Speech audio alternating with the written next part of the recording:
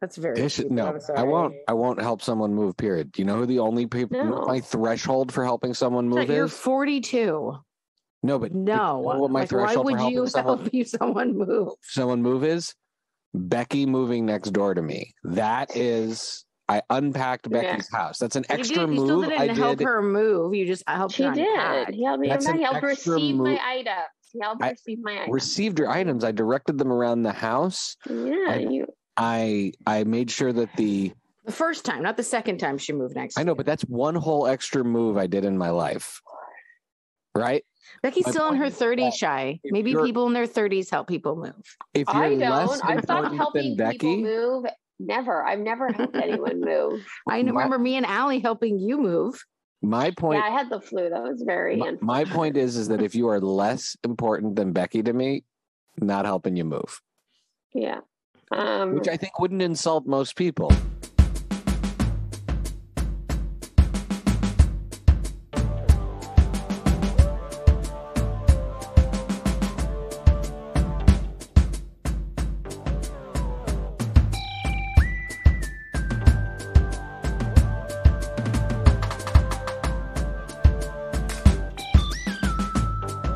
Here we are, and welcome to a full energy episode of the Friday Night Movie Podcast. Because we're all back together, I got to start by thanking Lily and Becky for taking on at the last minute, taking on the reins of the last episode and doing such a good job. I laugh. I laughed so hard when there are episodes that you both do where I am not in them because I enjoy the jokes. it's only happened twice.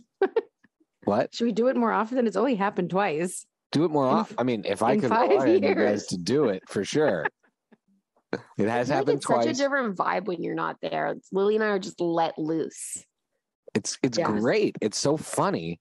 And as much as you're funny making fun of me when I'm here, Ugh, it's the best when you're not here. yeah, So it's, it's- No, even but I did. I did miss your buttery voice. It's good to have it back. Welcome back. my It my is- voice is back. I have been, I you know, every once in a while something beats one of us. It's rare, and It's and it's a surprise but- what it is. But apparently, Flu A. It's apparently it's flu A. Flu A. You know, people talk about COVID. COVID's terrible, but before there was COVID, There before was people were getting flu. COVID shots, they were getting flu shots for a reason. And, and you know, and when you get the flu, it's assumed you'll be sick for ten days. 10 you know? days. Yeah. That's what they say. It's like It's a like 10 a long day. recovery. and well past your contagiousness. So I was just Mhm, super tired. Yeah. But I'm back and we we've got this is going to be a fun episode because we're going to de- dive into a movie that was just released on digital. We're going to talk about Clerks 3. Um but I think what's great about talking about Clerks 3 is that I feel like it's going to bring up so much stuff because of the history of of how that movie fits into Kevin Smith and and where Kevin Smith fits into our movie watching history. So that's exciting. But before we do that, public service announcement for everyone. Uh, the bet, you know, one of the best movies I've seen all year, and we've talked about nonstop, and we've interviewed the people who made it, but it was not I- available. I've I've just like been WhatsApping people the link. Like, Me all too. morning. Yeah. I'm just sending people the link. We're like a, a, a like a guerrilla marketing campaign for them. Exactly. Moshari. It's a short. It's twenty something minutes. 22 from minutes. Nuhash Humayun and his amazing team, um, and the, who came on our show uh, um, after South by Southwest. This movie not only did it win at South by Southwest, but it has won nonstop all around the world at Oscar qualifying festivals. 20 plus film festivals it's gotten into. Yeah. And, And- and they just- they- Keep winning awards. They, I think they're revolutionary filmmakers, and it is a great Halloween scare. You will jump. As I have video footage, and we have video footage uh, on the Friday Night Movie website. We should re-release that. That's true. In uh, yeah, in honor of it being available Okay. publicly. We'll we'll, we'll it- release that because th- this It, is it, the, what- it- now that like when people saw it then they couldn't see the movie and now Right, they now they can. can So I see the- feel like it's like and it's free. It's on Vimeo. amazing. You got to watch it. So Not that's- Venmo. Not Venmo. Not Venmo. not, not available on Venmo. Not Venmo. Lily has a I, I made that mistake once. Lily. Did Lily we tell that story on the pod yet? I, I don't Lily think was so. like, Lily was getting so frustrated with me. She's like, "Why won't my Venmo work? I can't no, I was like, I can't. money Someone is a- asking me for my handle, and I don't know my Venmo handle, and I can't find it. And I'm like Getting showing Becky so my phone. mad. And I was getting so frustrated. I was like, I don't see my handle anywhere. Oh my God. He's looking at my phone and she goes, Well, that's not Venmo. And I was like, Becky, of course it's Venmo. She's like, No, you don't see your handle, though, because that's the wrong app. That's Vimeo. I'm trying to She's upload like, do you want to some watch some content." auteur films or password protected film also festival makes movies? sense now. While Lily's always getting so mad at us for not Venmoing her back because it wasn't showing up in her Vimeo app. L- Lily opened her sent. Venmo app and she's like, "Oh, I have all this money." yeah, exactly. I was like, I had no idea it was there. Amazing. Uh, I I want to admit something to Lily. Yeah. I've been I've been I've been watching you squirm and paddle with this having happened to you, and I have more Mm-hmm. Did you than do? 10 times in my life opened up Vimeo and Ah! tried to send people money with it because these are really They, similar. they are, right? I took screenshots of them for like a week, was showing everybody. Which app is that? Just guess. They're a little bit too similar. How has no one talked about this before? Well, I mean, one a is a video app and one is a payment app. I think they don't go. They're not in the same folder on my phone. They're not in the same folder in my phone either. I kept Oh, wondering. I was like, why organize did your apps? Yes. It doesn't matter because I still went to the entertainment app to Venmo someone. Well, the Venmo can folder. Okay. Speaking of entertainment, Clerks 3. So, Clerks 3 is the third entry, possibly the final entry in the Clerks story that started all the way back in 1993. Is that one Four. the Four. 494? Um, and it's from which was Kevin Smith's first movie, and this is the third one. And before before we get into talking about Clerks 3, I just want to take a moment to reflect on like what does Kevin Smith this so this is almost 30 years after the original movie. What is Kevin Smith's what 28 years? What do, what do his movies or what does seeing Clerks for the first time mean to you? Because because for me, it's a story, and I'll tell it over and over and over again. It was an afternoon after school. I want to say I was hanging out possibly with like Alana and Naomi and Josh, and we went to the Blockbuster video. I think maybe even before it was Blockbuster video, I forget what it was called, but that video store that was underground where a million comics was on Queen Mary. Wasn't That, that was Mhm. the Nickelodeon. No, No, no, that wasn't Nickelodeon was Nickelodeon. Eventually, ev- eventually became Videotron. Yeah, eventually became Videotron, but it was before Blockbuster, before, Mhm. Block- or maybe it was Blockbuster. The point is, I mean, by the way, when you can you believe that not only were there was there a video store, there were four on that street, on that street. Yep. I just mean, on that street. It was the 90s. And so I remember this is when, you know, we were just, I mean, you would pick something based on the box. And I saw Mhm. this movie with this black and white cover and these kids looking like grungy and alternative slackers. And it and it had all these, you know, four star reviews or something on the on the front. And I said, Well, let's rent this. No idea what it was. No algorithm, Right. There's no, no, internet, no rotten, no Rotten tomatoes. tomatoes. No, yeah, like Instagram. Just really good cover art. And we really and we good put poster. and we put the movie on and you know it starts with the really strange scene with the with the cigarettes and the lungs and the, and the gum and then pelting with cigarettes and what is this black and white movie nothing like and then it turns pretty quickly if i remember to the scene where they're talking about the death star and the mm-hmm. contractors on the death star which is referenced That's the- early in the movie. Yeah. and But it's that's a little because that's by by the time that's happening, Randall it's Randall's one that's talking about it, but he doesn't show up until partway until like a certain chunk into the movie because he's so late for work. Right, exactly. And and I remember it was like a, a world opening to me where I I said I've never seen people talk like this ever in a movie. I've never seen people talk like they weren't just talking like my friends about Star Wars. It was like this higher level. Well, that's the thing. It's like super punched up dialogue of Mhm. what you would probably were talking about with your friends, but then elevated to the Kevin Smith version. Mhm. for a And- script. Like it's it's perfectly constructed. I've never heard anything like it, and I kn- I mean I watched that movie over and over and over and over again soon, like many, and like many people did. Mhm. It was it And- became. It, it- I think I don't feel like it was.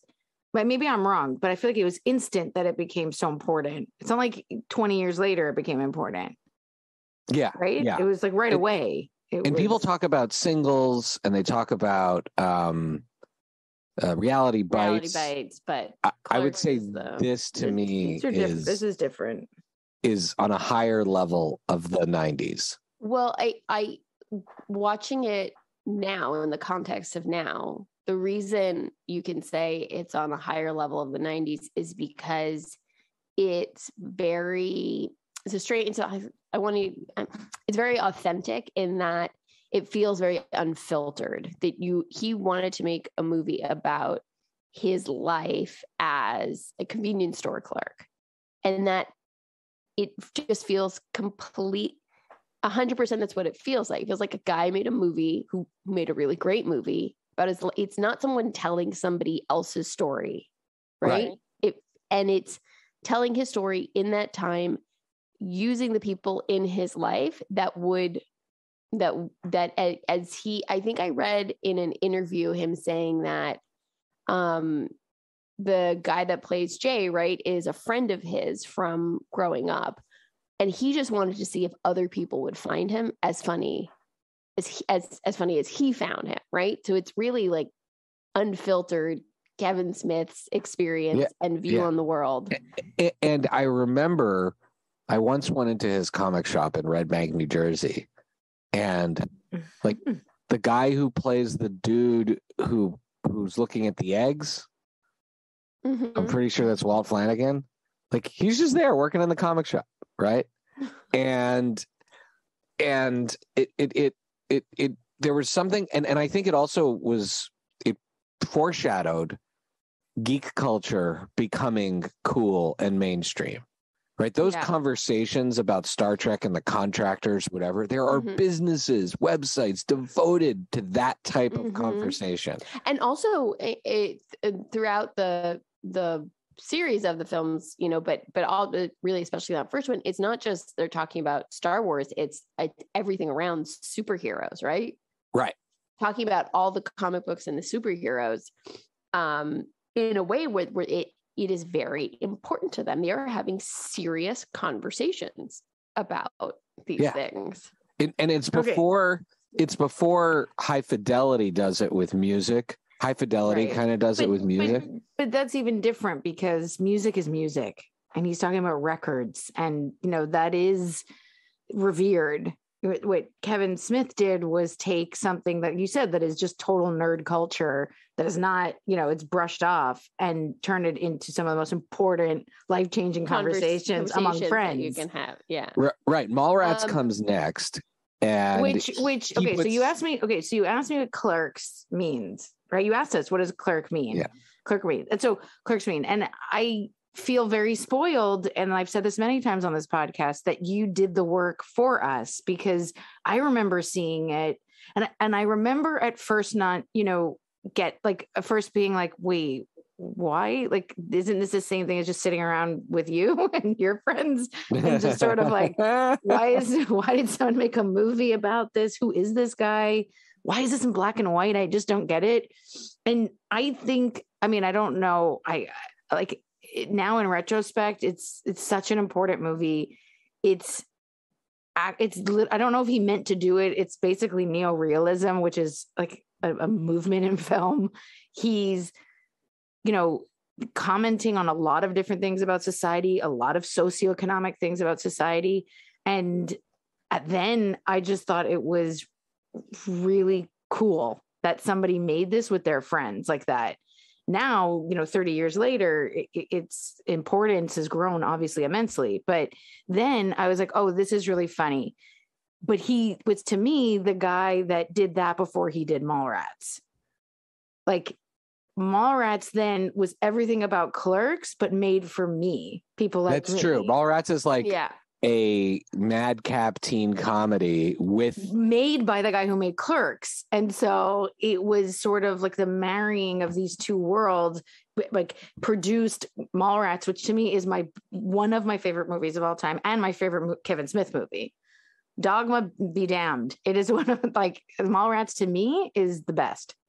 I And- loved the- that movie. in the last two days, three days, the last three days, I've watched Clerks and then part two and three. And then when we finished three last night, I was so excited I started Mallrats. And I'm like, I'm just gonna go through the whole I'm gonna go through the whole collection. Yeah, I'm The gonna go through the whole oeuvre? collection. Yeah, that it's- that it's first really- run of five movies is a pretty incredible run. That's Clerks, Mallrats, Chasing Mallrats, Amy, Chasing Dogma, Dogma. and Jay and Silent Bob Strike Back. I remember when Chasing Amy came out. That was a really big deal. I didn't like it as much as Mallrats, but I remember you and your friends. I remember you and Josh talking about it a lot. And people yeah, I mean, over it. time, that's not that's probably my least favorite of those five. It's more of a drama, um, but a, a lot of people say it's. That, I think that one is, has a Criterion Collection version. Like that's considered one, his best movie by critics. I think so. Good for them. I mean, like the, the, you know, not bad. I mean, like it's it's really cool. All right, so Clerks three. But I want to start with say, but but Oh. I just want to say quickly, last thing on Clerks, it does hold up. I do recommend watching it. If you've never seen it before, you haven't seen it in a long time, I really do recommend going back and watching it because it it really does hold up, and it's and it's such a wonderful little time uh time machine back into 1994 if you want to feel it and experience it the way that it was you know um and uh and it's and it's still fantastic yeah. Okay. Now, Beck, I want to start with you because you did watch all three movies That's awesome. in in a weekend. What was your reaction to Clerks three? Well, my reaction to Clerks 3 is that it is obviously much more of a drama than than you would expect it to be given the the genre of film that you think you're going into, but I thought it was so wonderful because the Clerks trilogy very much feels representative of Kevin Smith and where he was at each place in his life making them Totally. you know he wasn't trying i think the fact that he would that he did not try to recreate the original is why it works so well because the 94 one that's of his life in 1994 2006 feels you know the second one feels pretty representative of the filmmaker and where he was at in life in 2006 if you look at his trajectory. And now the one that came out this year and he and what he's been through in his life having had a massive heart attack having to make big changes to who he is it um to to how he lives and and and his relationships um this one is a more of a drama and it represents a an adult man who's gone through some stuff in his life and is reconciling that. So Yeah, i yeah, thought it was I- fantastic. absolutely. I really i loved i loved that they went straight for him contemplating his mortality. And and what i felt like what was even deeper than that is that i think the movie really reflects a man who has you know who did not live his life in a healthy way nearly died and is genuinely afraid of losing what he has and Mhm. Whereas, you know, the first one, it's a little bit like nihilistic, Mhm. slacker, on my way up, make something of yourself or don't kind of story. And and and by the third one, in this third one, you're really looking at a guy who is imagining what it would be like. It, it, he he is not ready to check out. The, the the author, Mhm. you know, the movie kind of takes a little bit of a different turn, but he's not ready to check out. He loves his wife so much and he loves his daughter so much. He talks all the time in real life about how his daughter is his best friend. And Mhm. I, you know, this is a movie made by somebody who wants to communicate how precious not just life, but the love in his life is. And again, this is the guy who, relationships you know how to take guy- care of your relationships right, and again, and this is the same guy who gave us the term jizz moppers in the first movie. Right. Um, and so I, I think, and, and I think in like there's the, so the, the movie starts off with the, so the second movie ends with him falling in love and getting i think engaged to um rosario dawson's character and then the third Mhm. one starts with she's died maybe weeks later and Right. It months seems later. like I s- think it's months a- later because yeah, the ending of the first one, the ending of the first one of the second one, sorry, and the ending of the second one, they reopen the quick stop and she's very, very pregnant. Right. And and so what's happened in the interim is this horrible tragedy where she died in an accident. And I was worried at first. There's this concept, you know, fridging of fridging someone where you you kill off a character in the in the opening scene um as, as a plot device, or maybe because you can't get the actor back. And I was like, oh, I guess Rosario Dawson, who has been in Oh, a lot of his movies, right. guess she was busy being Too busy. too busy doing Star Wars. And and instead they bring her back a bunch in the movie as like Yeah. a as like a vision or a Mhm. ghost, almost like a force ghost. And and it, I thought it was beautiful. I thought it was beautifully done, and it was less about the continuity of the second movie and more about, like Becky said, like a diary entry of a guy at this point in his life, and Um, imagining what would be in his life and- if it took a different course. and just yeah just um, just for a second to speak on the people that he brought into the movie his daughter has a cameo a few times which is sweet and then um he's got amy sedaris operating on randall while talking about the mandalorian Which was amazing. which is and of course she's in the mandalorian conversation. That a Um, funny conversation. the best is that she's in the Mandalorian, right? And then you've got Rand, you know, this is the way, and all, Yeah. all the like all the all the new Star Wars stuff, which there's so much of, has made it into his third movie. Like the the reason to keep making Star Wars, other than that, I guess there's a reason to keep making Clerks because there's just more material to put into these movies, and it's done in such a funny, sweet way.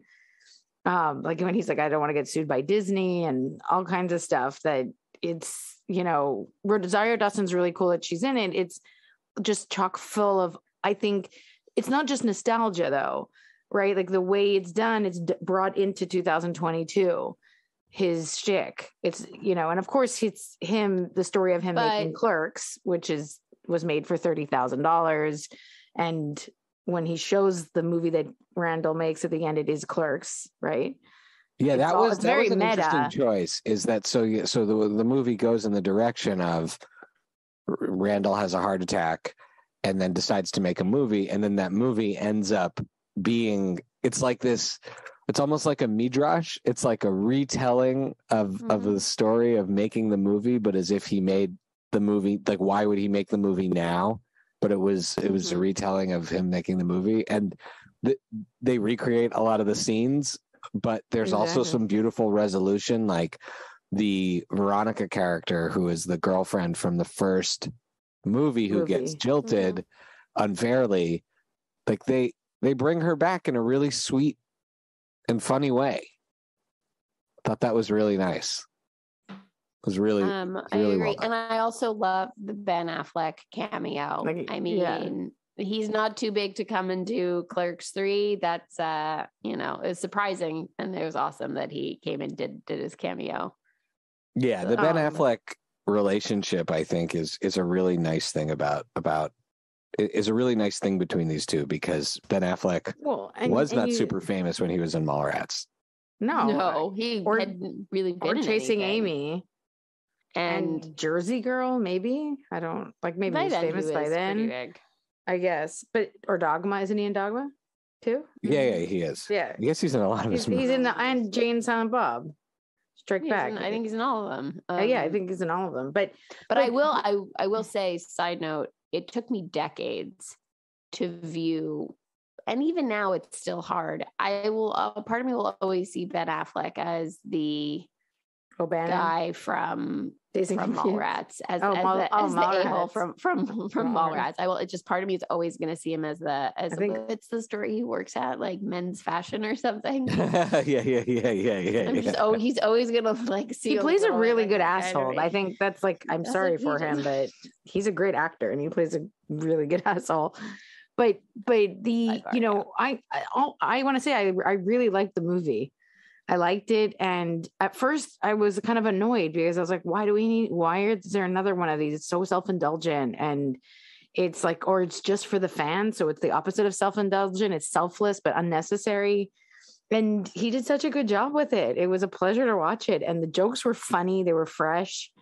You know, all like he he didn't just recycle old jokes. He brought them into this decade, and But the shtick of uh, of uh, is it Elias? Is that the the other worker there? Elias, Yeah. yeah. Going going goth, and then the Well- increasingly and, and his continuous comment on religion, like his continuous comment on religion, and since his the movies earliest days of yeah, the, his is- movies. is, is amazing. Um, he- Dogma, he's always struggled with it. Yeah, and I think that that's super cool. And it was a little sadder than I would have expected. Yeah, it was it was it was kind of a hard Right. like But Yeah, but I'm saying I, I think but it works because it doesn't feel like it's sad for sadness' sake. It feels like this guy is putting on the page what he has gone through in his life. It's like clerks very much feels like his therapy when you watch it. And and so I'm okay with it being sad. I'm okay Yeah. with it having its emotional moments because it really does feel like his voice. And I don't know, so it works. I thought it was great. Yeah. I think he, I think it was really a loving movie. Um, I want to just shout out because some of the actors that are in it are not are not the actors that became a, right. There, Ben Affleck has been in his movies, but the actors from Clerks didn't necessarily become the most famous actors. Brian O'Halloran, Jeff Anderson, Trevor Fehrman, who plays Elias, and um, uh, Marilyn uh, Ghigliotti, or who plays Veronica. I think they were just lovely and so good in this movie. And and Brian O'Halloran and Jeff Anderson were asked to do a lot in this movie in terms of acting.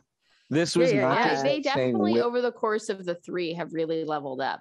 Yeah, and good Hmm. good for them because this was like this had this works because they have to sell it and good for them um and then i really loved um austin Zajur who played blockchain which was the sort of the new other silent Bob. The Oh Crypto my Silent quickly, Bob. shy. How much did you love all of the criticism of crypto and NFTs? It was- the crypto right stuff was of the really gate. funny right. but then at the end it left me being like wait a minute but the kites Should, should, should I I kites did Crypto. fly. So so all in all I think it's a buy all around for us. This is really this is a really this is a really special movie, especially if you if you've seen the other movies. But I recommend watch all three. They're very very funny. They're and and like Becky said, they're diary. You know, they're these like snapshots of this guy at different points in his life. Um, and I'm really, you know, And it was very cute that he had Ming Chen in it.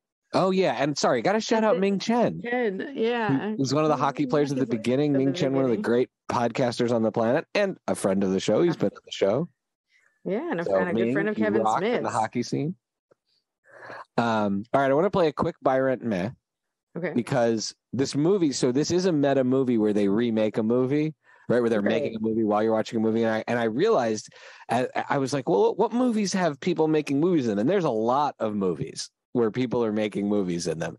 So I have two quick buy rent mez. One is I'm going to talk this the meta movie making a movie genre that I would call this, and this would be. Um, I'm actually going to change one of these. Okay. Um, to I'm going to change one of these so on my list here. So just go with me here. So one of them is Scream Three because in Scream Three, a big Right. portion of Scream Three takes place in Hollywood on the set of them making Stab Two. And there's all these jokes about like Wes Craven being like a hack and making another sequel, and they they, play off the whole that that element. And and then the next movie I want to do um, is a movie I have not seen, but I know that it takes a similar approach, which is I think they were You actually making fun of this in Scream Three, which is um, the Blair Witch Book of Shadows, which is the second Blair Witch movie, where it's like about them making a Blair Witch Oh, I, movie. didn't, I didn't even know there was another Blair Witch. well, movie. that makes it fun when you play Buy Rent Meh with something you've never seen. Mm. And then the last one I want to do is a movie. I was afraid to write this into the notes. Like I got like anxious leaving this in the notes because I was afraid it was going to come and get me.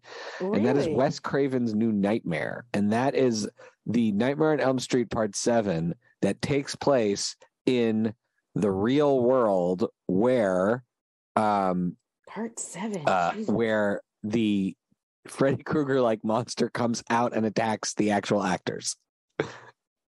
so Oh, they're make it's okay. They're making the Freddy Krueger movie. right, he- so the Freddy Krueger movie has been made. What and it makes takes- you think I've seen any of these? No, I didn't. You don't have to see any of these movies for us to play Byron I- Man. I When has think I've that been? I actually Scream did see. Scream 3. I Three, did see. Scream 3. And I remember it being the least scary of the Scream movies. It has a So I Jay and Silent guess- Bob cameo in it. Right. So I guess I'll buy that one and I'm mang the other two because I'm just not watching extracurricular scary movies for no reason. No, thank you. All right, Lily, what about you? I'll buy Scream 3. I will rent New Nightmare because it's a great concept for a movie. And I'm going to med Blair Witch. I didn't even know existed. The I'm Blair I'm Witch. with Lily on I that. did and see the first Blair Witch in the theater at Cavendish Mall. I still haven't seen the whole thing. It was- it was Can't. cool. Doesn't it take place in Maryland, like near where I live? You didn't live there at the time. Doesn't matter. the the wet um the Wes Craven's New Nightmare one, I liked it. I, that would be my rent too. When I saw the commercial for that for the first time, I loved the concept. Like it scared Right. the life out of me. I love the concept. Still not going to see it. Can't. Hilarious. Too, too. All right, now let's buy rent, rent man some comedies about making movies because then I had so much fun and then like category. this movie this is whereas the last one was like three movies you're like i don't care about these bowfinger which is go back and watch that steve martin eddie murphy Eddie Murphy. christine It's a great- baranski heather graham just a brilliant movie, Yeah. um bowfinger frank oz i believe directed it okay the state and main mamet right we're talking about a mamet take on making movies Mhm. and It's get shorty movie. Which is the best movie ever. So you have to go with Get Shorty there. Yeah, Get About Shorty making a is movie? pretty- is- I mean, it's yeah. To me personally, I'd be curious how I'd be curious to watch these three to see how they hold up against each other now because at the time Get Shorty was it's pretty. I mean, it was the Cadillac of movies, you know? yeah Yeah. these are three movies i could watch i could watch I love State and Main too, though. any minute, It's a anytime. Fantastic movie. But I'm if gonna I'm buy all of forced, them. if I'm forced, the one I've seen the most times is Bowfinger. Oh, interesting. Yeah. Bowfinger I've seen the most. Well, these are these. I feel like people haven't talked about these movies in a while, so I hope if people haven't seen them or listening, Yeah, those are three. You know Chance. that none of them are really Mez, but no, no, no, no, they're all buys. These are yeah, these are all like huge winners. All three of these are must sees for people who want like I the, the movies about making movies or Hollywood movie making about Hollywood movie is lost a lot of its luster, but these three are You huge. know who's making a new movie about making movies in Hollywood is Damien, which is Shaz- Shazil. Shazil. I don't know how to pronounce it. Chazelle. Um, the one who made Shazelle? Whiplash and um, the guy who made Whiplash and um. La La Land La La Land. is, with Margot Robbie is making like a movie about making movies in Hollywood. I'm sure it's going to be amazing because he's amazing. That director. so- Irma Vep is a show about making a show. Yes, we talked about it last week. and Just reboot saying. is pretty good too. The first couple episodes of reboot have been Another really show good. about a show. Um, is there a movie? Is there a movie? This is my final question for today. Is there a movie that you would want to see a movie made about it being made the way Clerks Three was sort of like a retelling? Like I would really like to good see a movie made about the making of Cats, the movie. Oh my god! But that's not a documentary behind the Not a documentary, What like a it is, more dramatization. like a fictionalized, where they're like someone is herding the cats to go do their musical numbers. They're Yeah, not real like- cats. like just about the decision. No, but if no, because if it was a movie about making the movie, then they would be real cats. If it was a documentary behind the scenes, then it would be human actors playing cats. Do you no, no, but it's not a documentary. It's like But the I'm disaster it's a- artist, but it's about right.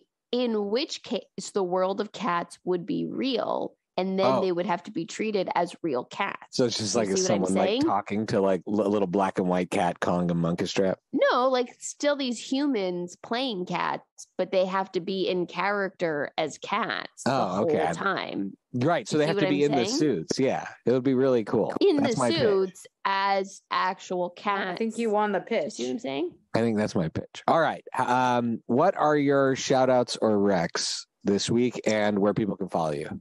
We'll wrap Um, up. Oh, I, I forgot. I also started watching season two of Avenue Five.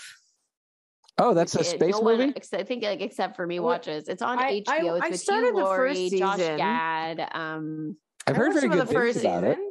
It was it was a bit it's stressful. I think it's really really funny. It's just I get very stressed watching bit it because the stressful. concept is that is that they're they're they're on a Lost. space cruise that goes off course and they're going to be off course in space for like years and years and years and um They're stuck in disaster space. after disaster and so it's a very on the one hand it kind of makes me a bit anxious because you know Yes. space cruises that get lost but on the other hand everyone on the show is extremely funny The cast so I like it. Season two just started. That's what I'm watching because I've mostly been watching Clerks movies the last week. And where can people follow you, Oh. Becky? Oh, at Paper BK Princess on Twitter. That's it. That's all. That's everything. Lil? Someone else go. Okay. Um, I finished Bad Sisters on Apple Plus. I really liked it. I love Sharon Hogan. So Horgan. Just kidding. Not Hogan. Horgan. I think she's awesome. If you haven't seen Catastrophe, which is amazing, I say watch that, then watch Bad Sisters. Um, and then we started watching, of course, like whatever new is scary on Netflix. I have to see The Watcher with Bobby Cannavale. Lee oh my god! I um, told Naomi you that Watts. that's based on a real. That's It is based on a real that story. I read an article about and could not sleep. Okay, like I read an article about that real story and I was up for hours. It scared. It's It's a it- real it story. Terrified me. It really. It's- ter- it seems so it is- upsetting. I'm not watching it. It's a real story. And then they embellish it It's with insane. like other real stories that happen in that neighborhood. Not necessarily in that. They pretend in the show that it happened in the house, but these other things didn't happen in the house. they just Enough happen in the same just happened with neighborhood. one house. I'm sorry. and No. the, the stuff that happened in the neighborhood is insane. Anyways, we watched two episodes. Um, I think my husband's gonna force me to watch the rest of it because I like literally bowed out in episode two and went to sleep. But um, if you like scary stuff, it's it's pretty good so far. And you can follow me, Chichi K Gomez, on Twitter. And my recommendation, I just want to I want to shout out to a podcast. There's a podcast called Podcast X. It has Ben Kendrick, Rob Keyes, and Kofi Outlaw. And it is a phenomenal you know, focus on a lot of the superhero movies and nerd culture, comic books. Um, but it's at heart, it's a great movie podcast. But what's really important about Podcast X is that these three guys were the original Screen Rant Underground podcast hosts, Right, and they right. reunited Cool, to do this show. And I can't, uh, I can't under, I can't understate, I can't overstate. Sorry, I can't overstate the influence that these folks had. I I remember the day I was out for a walk when my newborn kid was being babysat and I popped on a podcast about the new Avengers movie that had just came out and it was Screen Rant and Great. I, I you know that I mean they're among the inspirations for why we're For- yeah. and it's sure. great to the three of them are so smart and it's just great to hear their three voices back again talking about movies. And so ben rob and kofi who i do not know personally just please keep making podcasts. Everyone should check out podcast x. These are some of the smartest guys talking about movies and they love movies and they're one of the inspirations for this podcast. And so um, and then the other one is, of course, the Tony Kornheiser Show podcast, which I've been listening to, which recently had show, a, a, a great song from the great Dan Byrne. It had a it had a it had a great song from from Dan Byrne about this French basketball player. I have to pronounce the name. Um, uh, hold on, I want to pronounce it right. Um, I I have to. Oh yeah, Victor Wembanyama. It has great. It's from I think this week. It's like Monday or something like that. This week, uh, Victor Wembanyama. Uh, Dan Byrne has just a hilarious song about his about um uh, about this character, and just a really great reference to the French Foreign Legion. And with that, my uh, handle is at pancake and the number four table. You can follow all the Friday Night Movie shenanigans at Friday Night Movie on Twitter and Instagram. The theme music is by What Does It Eat? Lily and Becky, it's so great to be back with you. Bye. Love, you. Bye. Love you. Bye. Bye.